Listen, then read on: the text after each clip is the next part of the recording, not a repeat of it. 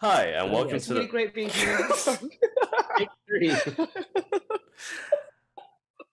Hi, and welcome to the first episode of our podcast. Today we have two special guests, Eric and Noda.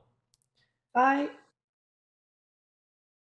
Who are you, Eric, and what do you do?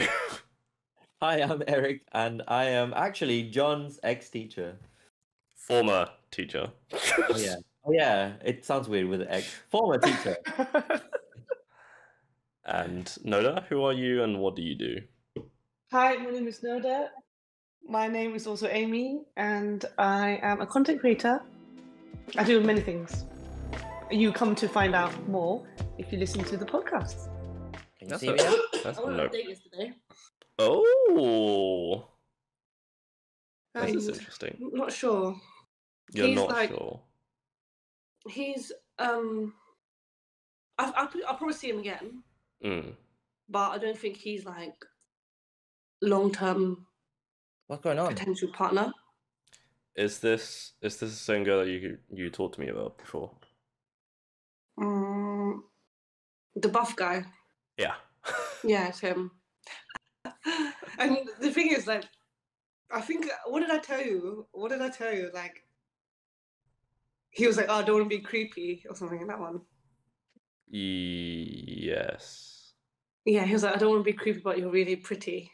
That sort of thing. And I told him, like, don't say that. As in, don't say that I don't want to be creepy. If you want to give a compliment, then do it confidently. Yeah.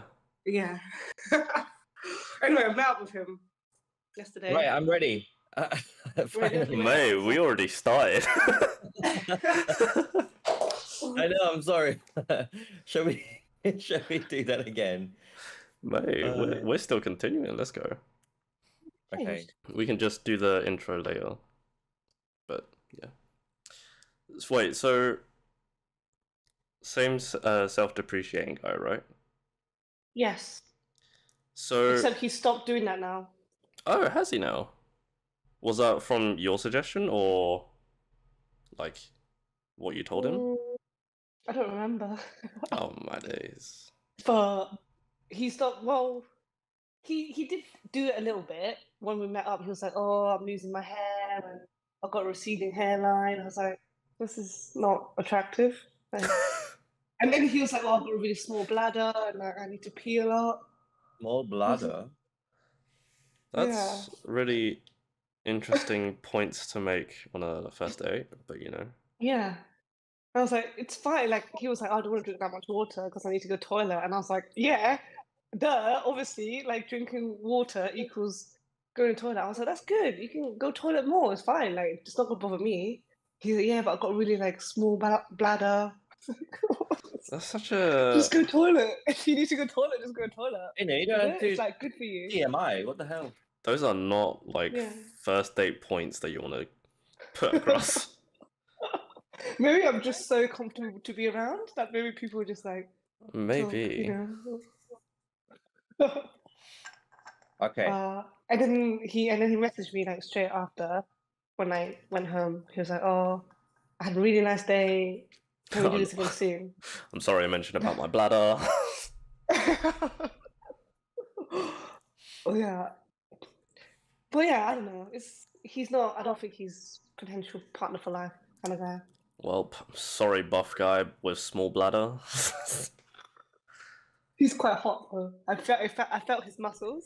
At end, I was like, oh, I was like, oh, I just want to. he was kind of baiting me to do it because he was standing there like flexing his calves. I of was like, course he okay. was. And then he was like flexing. I was like, you know what? I'll just give it a squeeze. All right. So squeeze, his squeeze his bicep and squeeze boob. I You mean, squeezed his boob. Oh Yeah. no. I do like pecs. You do like But he has very nice. small. She's got Bladder. really like. He was. I was like, oh, all right. Never felt pecs like this before. Eric, have you have you ever felt pecs like that before? Um. Yes. Yes, I may have. Are we are we I- I- allowed I- are you allowed to mention what pecs that you felt? and I, I, I totally feel uh, Noda, Amy. Um, I can relate, one hundred percent. Um, but yeah, Well, I a lady does not tell, so A lady does not tell. divulge. Let's just uh, let's just say uh, I hear you. Cool. Yeah. So, But I, I I would say I'm probably not so much of a chest kind of guy. I'm more of a arms. Mm, Yeah, cuddles. Cuddles. yeah, Yeah, they are the best. yeah. I'm not so. Uh, I'm obviously I appreciate the effort that some people put on their body or put into their bodies. Um, but yeah, I'm more of a a cuddle kind of guy. Whether you're small, huge, or averagely proportioned, cuddle's a cuddle, isn't it? Cuddles Yeah. are cuddles. But cuddling someone really slim compared to cuddling someone who's like broad, it's different feel. It is that. Yeah. Yeah, there is that as well. Like I've had several partners because I'm quite like a slim person. Every time someone cuddles me, they always say how it's uncomfortable because of how much you can feel the bones in my body. One specific bone or Not no. or the any bo- bone. the bones on my chest or my shoulder. They always say how it's very uncomfortable, and they always have to put a pillow. But Oh. yeah, But you can't change that because it's genetics, unless you like, unless I like take bulk up. yeah. Yeah. Well, well. Right. So, in terms of how to speak to women, Noda, Mm. what kind of suggestions do you have? Don't over apologize. That doesn't show any confidence. It's better to like say how you feel and then deal with the consequences after. Mm, Because if you're like, oh, I'm really sorry, or I hope don't, I hope I don't mind, hope you don't mind, or like, oh, I'm sorry I said that. It's like you're you're saying one thing, but then you're apologizing so much that it just doesn't. It's not very like strong message. mm, I see what you mean. You you you come across very uncertain, and that's not nice. Have you ever had that like happen to you? Is that from like experience? Yeah. Like, people just over apologizing for no reason to try and like seek reassurance. I think it's Mm. because they're like super anxious. So they'll apologize in case they said something wrong, even though I didn't indicate to them it's wrong or anything at all. But then they're like, oh, oh, sorry, you know, is it too much? Is it, you know, is it okay? And then for me, that feels like they're trying to seek reassurance from me Mm, to make them feel better, ultimately. And that can be quite exhausting if you're in a relationship with them. So it kind of puts you off straight away. yeah. I mean, I remember doing that as a kid as well. I mean, I I don't recognize myself if I have s- or still do it to this day, but I Mm. have I am starting to just be blunt with what I say and just say, "Oh, you look pretty," without Yeah, apologizing or whatever. yeah. What about you, Eric? Have you have do you have any advice for uh, how to speak to a potential partner? Um, well, if you're approaching women from a friend kind of non expect expectant kind of way, where you just want to speak to people, um, I would avoid just saying just really um what do you call this? Really boring way to ask people. Like, hey, how are you? Yeah. Oh, like Uh, small talk kind of stuff. Yeah, like small talk kind of ways. I would. Well, I, no, I mean small talk is okay, but y- common small small talk questions are a bit boring, and that's not really. It's not really setting you up for for being friends, and not also if you want something more. Like it's it's not a good first impression. So, um, coming from a uh, a, fr- a friend's kind of position, I'd say like ask them what have what um how should they been today? What have you been up to? After the initial hello, and how are you type of kind of question. I don't know. Do you find it really weird when somebody asks you how are you, or yeah, weirder, I just get bored immediately. yeah. Well, Or I don't want to talk to you anymore. Which one is It's like- weirder? If they ask you how you are or how's your day been, which one is less? I Uh, prefer the how's your day been because I got more to talk about. yeah, I think and so. it, shows yeah. that they've made effort. But if they're like, "Oh, how are you?" or like, "Hope you have a good day," or like, I don't know. It's just like, okay, cool. Like, make be specific, in a way. or, or the classic British question of um, uh, how's the weather today? Top of the morning. Like, are you, are you enjoying this sunshine? I was like, uh, yeah, that's why I'm out. yeah. Uh, next question, please. So I, I would say ask them an open question about their day. Um, if if something really dramatic happened, like I don't know, um, uh, maybe when King Charles was coronated. Not that I'm a monarchist or anything like that, but because I did. Did you watch this coronation today, or wh- what were you up to uh, celebrating or not celebrating King Charles today? Just be topical and not be generic. I would say. no, Do you know how I talk to people? go on. I don't ask a question. I just talk about myself. Oh. Let me give you an example. Hi, my name's We love that. Lucy. Let me give you an example. Like, I was, it was uh, years ago in university, and I was waiting outside the lecture hall, and there was someone else there. Never spoken to them before, and I just went up to them. and I was like, "Hi, I have conjunctivitis in my right eye," and that was it. And we had a friendship for like three and a half years after that Wow. because it was just a random fact about me, really random. They can't run away because they're outside the lecture room. You trap So them. like you trap them, and then you just start talking about like really random topics rather than oh, so uh, are you waiting for this uh, lecture? Yeah, obviously because Yeah. I'm standing No. outside. So I thought let's just try a different sort of opening. Mm. And usually it's just like I I would make a statement. I'll look at them and I'll make a statement about myself or like what we're doing in that environment. Mm. So I don't even ask a question. Oh, here's another one that um, because growing up, I've had this. I don't know, like I've always really been like mean. I've not really put on a facade or like a, a front. But um, when I was at uni as well, people would assume that I'm straight or, and, uh, but but women, girls in general, would be friendly, but not friendly as in like you're definitely gay. Let me go and like just be safe with you. just just as a kind of um I guess normal normal interactions with people. Um what I found really I know uh, maybe maybe it's just like in my head, maybe I'd like to think of it this way, but um I thought that some girls thought that I was pretty interesting to to be with when I ask them something really random about what they've got, like to show that you're paying attention to them.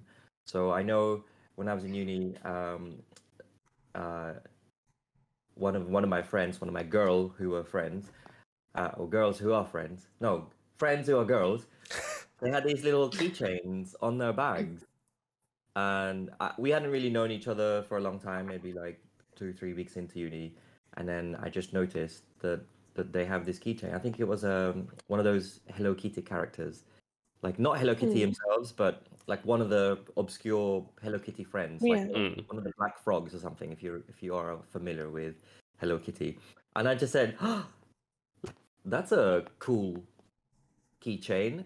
Um, isn't that from Hello Kitty?"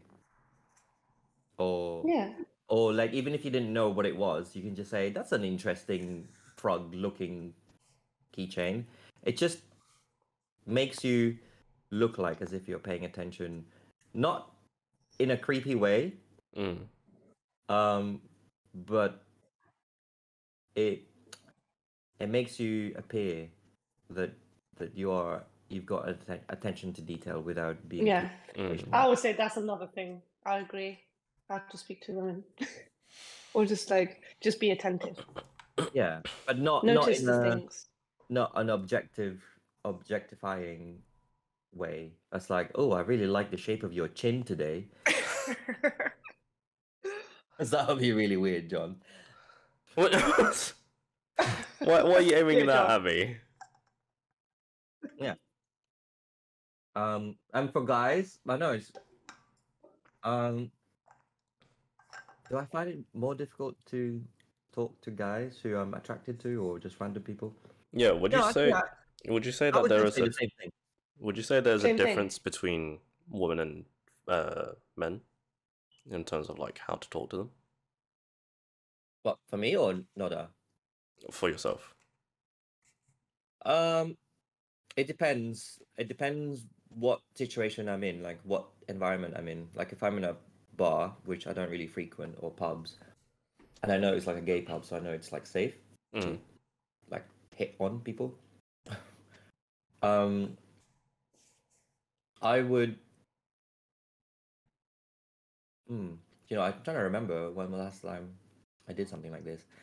Um, no, I think uh, my approach would be the same. I'd pick something really random, like what Noda started, and just talk about it. Like trying to talk about it. Like so, if I'm wear if if the guy that I found attractive is wearing this shirt, I would say "Oh, that's that's a pretty cool pixelated um trainer design. Are you mad for trainers? And it just gets them to talk about something that they uh, they might have just literally bought something like this from the shelf and not really paying attention to what it was, but at least it gives them something to to to start a story with rather than uh, how was your day today? How was your day at work today? yeah, so boring. Or oh, having a good night. Yeah, you're out Oh, Thursday night, isn't it? Isn't it like a school night tonight?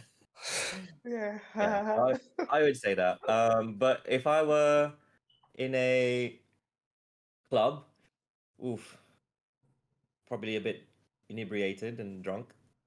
I don't know. Don't know what will happen there. I'd say I'm probably a little bit more seedy. nice chest. Yeah. Whilst touching it. Yeah, like, Whilst "Mm, touching his pecs, nice. ooh, Yeah. is, uh, somebody works out today. On that note, have you guys had any like embarrassing clubbing stories? Oh my god, I, I don't feel like I can answer this because it's been probably 10 years since I last went to a club. 10 years? Has it been 10 years? 10, 6 years, something like that. Um, and I probably have forgotten all of them. Either they're so traumatic that I've forgotten about them, or I'm pretty boring at clubs. I mean, Did you say traumatic experience at clubs? like embarrassing, because I've I've had one very embarrassing moment where I took a girl to. Um, it's a club called K Events, and it's in it's in Vauxhall, London. Oh, Vauxhall, where all dreams are made. Yeah, and uh, we we all had like several bottles of soju, and if you don't know what soju is, it's like Korean, it's like Korean vodka, but it's in like a very small bottle. rice, Yeah, yeah, rice wine. alcohol. Yeah, rice wine. But um, they all have like different flavors to them, and so you can barely taste out al- like alcohol, and it's like I had a peach one before. I'd say and- it's quite addictive. Great one for me. Yeah, grape. Grape and apple is quite nice. But um basically we had several bottles of soju and we reached uh the club, but we we're not allowed to bring like outside alcohol into the club. So I had the smart idea of just downing one bottle within like five minutes. And uh I, I was feeling fine and everything. We were in the queue for a bit got and I, I was like busting for a piss. So hmm. like by the time we reached there, I like sprinted over to the toilet, did my piss, went out for a bit, and met up with the with the girl that I, I brought there. And then I just felt like utter shit. And my stomach started turning, and then I just went Oh, Not over her, thank God. but I went to the closest bin and then just puked all over that bin. Luckily, I wasn't kicked out, but yeah, that was a very embarrassing moment of my life. It was very sexy. Yeah, I'm so so attractive. Mm-hmm. And did you feel good after? Or did you just like Oh, yeah. feel bad? I mean, it definitely felt better after puking. after puking that bottle of soju out. But Oh. yeah. And then yeah, that night was just interesting. I don't know. How you. I, have, I don't think I've had any embarrassing stories. I did vom before going to the club because I drank too much. That's one time. But I don't think I've had anything like super embarrassing. Actually, wait, no. I remember one thing. Oh, here we I go. wouldn't say it's embarrassing, but I remember like being really drunk and asking a guy for his number, and he Mm. gave me a fake number, but I didn't realize in the moment because I was drunk. So I was like, oh, what should um, no, first of all, my chat up line is always, can you take a picture of me and my friend? Mm. Oh, and then that gets the conversation talking. And then later I was like, oh, can I have your number? He was like, yeah, it's 07 11223344. Nice. And I was like, writing it down. I didn't realize it until like afterwards. I was like, that's a fake number. I was like, damn. And I was just writing it down, like really, really happy. I was like, oh, thanks. Yeah, that's It's smooth. like, oh. So Oh, so what? You didn't get his number in the end then? No. Damn. So yeah, it's alright though. Oh. He was probably just like not drunk and just like laughing at me being drunk and but yeah, it gave me a bit of courage to ask for his number, I guess.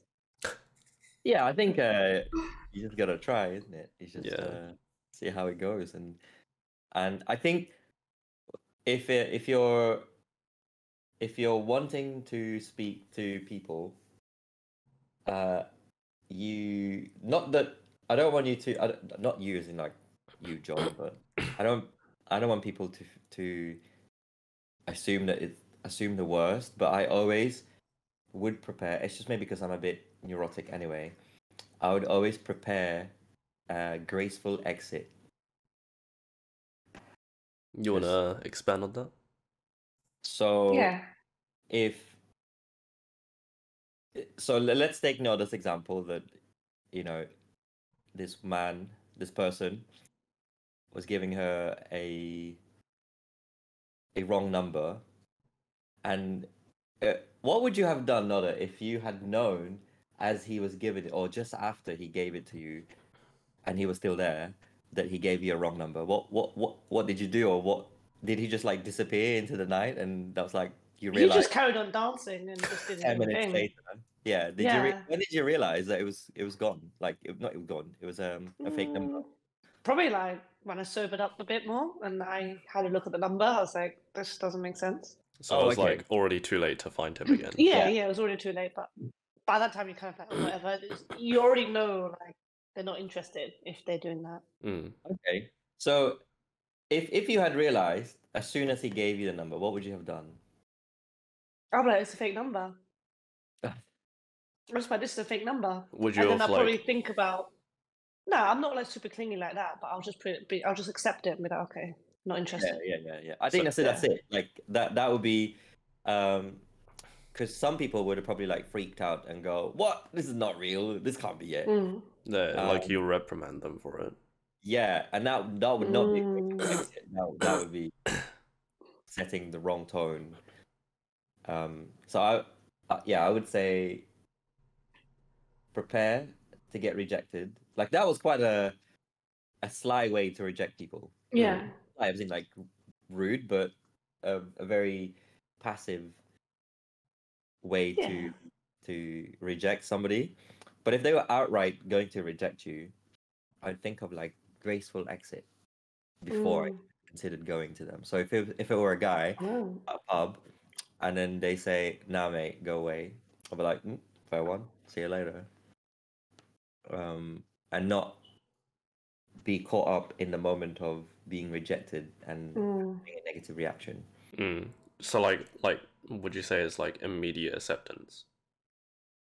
uh, outwardly yeah Mm. outwardly you have to present as if it was like oh, next. Um, Hmm. and then maybe Inwardly. yeah, inwardly when you get to when you get to the corner of the club, you're just You're like, on a fetal position. It's like, "Ah, you just rejected me." that's it. I'm going home.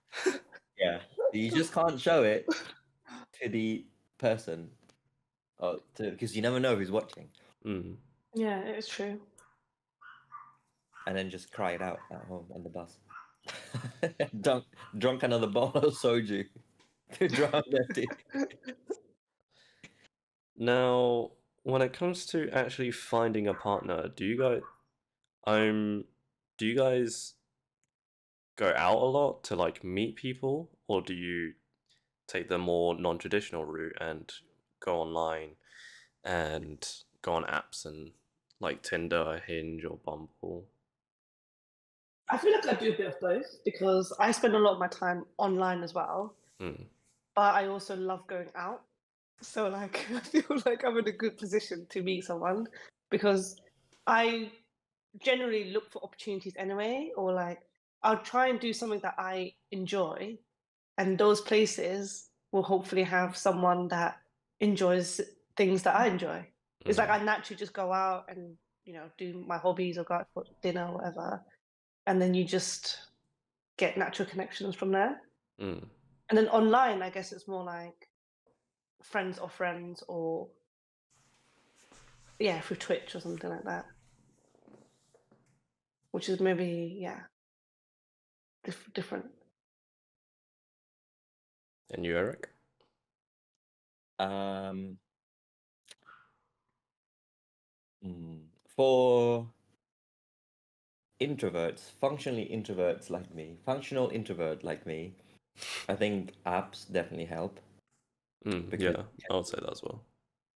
You can filter out people who you're interested in, or um, what I started to do a couple of like months ago that I stopped now was normally people have uh, preferences, right? And then when you go on these apps, you you kind of stick to your preferences. But now, oh, not now. Um, well, actually, yeah, not now. I would. It sounds really sad if you're this, if you're one of those people that I ended up hooking up, of hooking up. But now I just would select. I I don't know, like it'll be like a, a lottery of what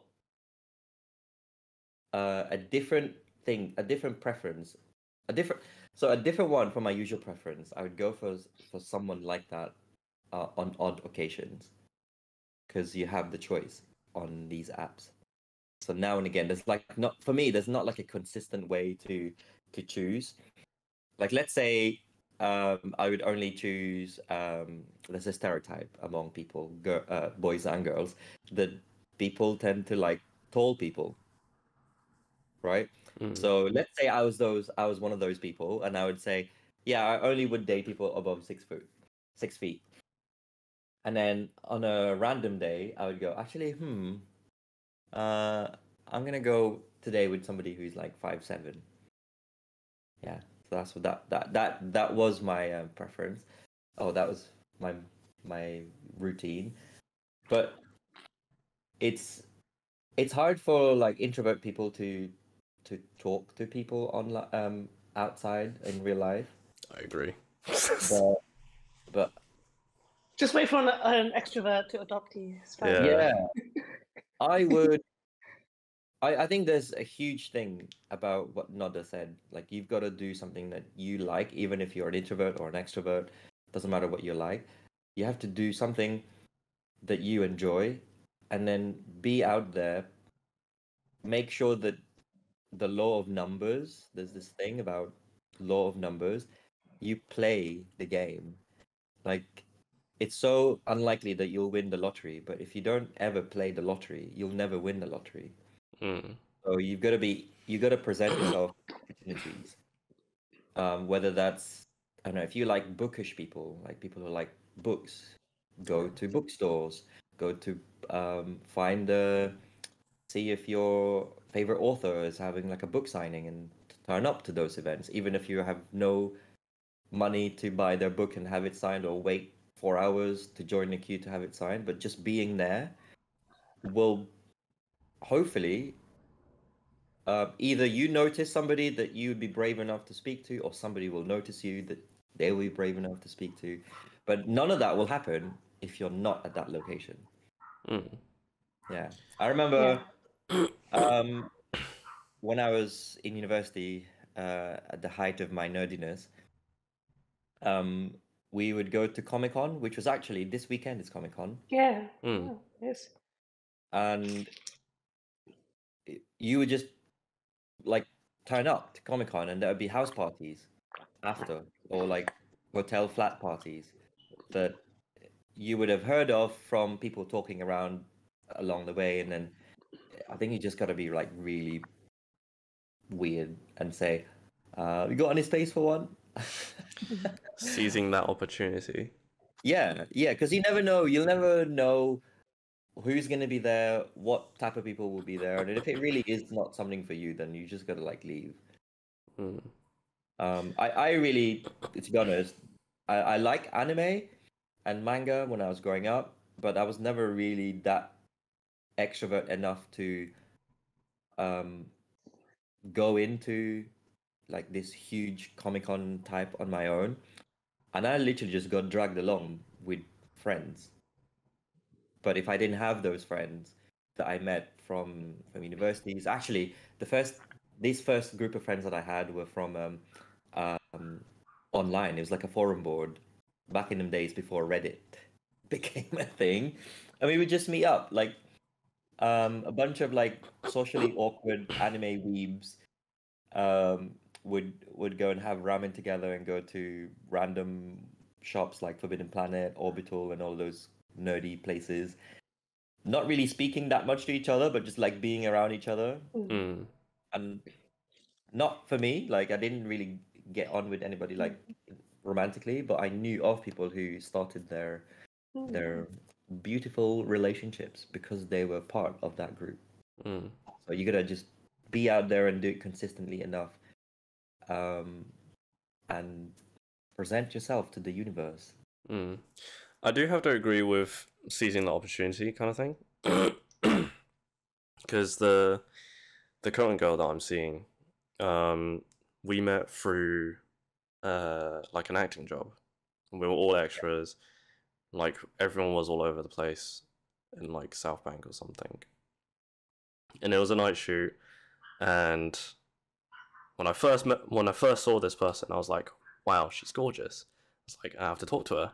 But if you are me, I can't talk to anyone, and I have like massive social anxiety. So Oh. like I tend to I tend to keep it to myself in like jobs with Mm. massive crowds. And then I had to like build up the courage and like work myself up and like roughly at the end of the shoot I was like, "Hey, do you want to I was like seizing the opportunity because like it was either now or I'm just never gonna see this person Mm. ever again. So I was like, "Hey, do you want to go out on a date sometime like next week?" And she was like, "Sure, why not?" And like at that moment, I was like, like like I said before, it was like either now or never. And I was like, Mm. I got nothing to lose if I if I get rejected. I was just like, I'll just go home and cry. And it was like, Mm. but it's now what several months now, and I'm I'm still here and still living my best life. yeah So definitely Yeah. like seize the opportunity when it comes up, because you never know. Like you could either get something great happen, or it just you just continue to move on. Yeah. That's just how life is. Mm. Do you want to plug anything? Um your content where can they find you noda You can find me on Nodamochiiee, N O D A M O C H I I E E. And I'm going to be releasing a new YouTube channel under my real name in the next couple of weeks. So stay tuned for that. It's going to be amazing. I'm going to be talking about my new flat and what it's like living solo in London. And what do you have to plug, Eric? Um, Well, I already said it in the podcast, so let me do it again. Um, if you're listening to this before the 10th of June, um, we ha- I play in an orchestra called the London Video Game Orchestra. Um, we're going to be playing music from games that have LGBT characters in it. So if you're down in London, um, go on our website lvgo.co.uk to find out more about details, uh, more details about how you can get tickets. Um, I'm Eric, and you can also find me on socials. Um, I have an Instagram page called Eric Does Digital and a YouTube page of the same name. Um, it's on huge under construction, but I don't have the energy right now because I'm in the middle of like doing my masters. So I will get to it at some point, but I will plug it again in future episodes of this podcast. All right, what do I have to plug? Uh, I'm on Instagram at Jon Acario, J O N A C A R I O. Uh, this podcast will also be on.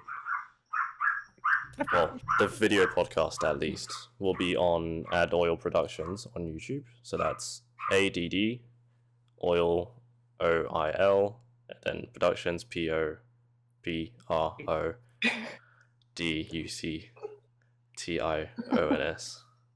Jesus.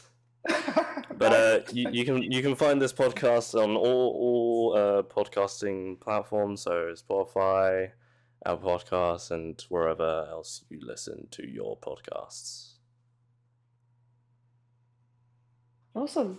Thank you so much. Bye. Bye.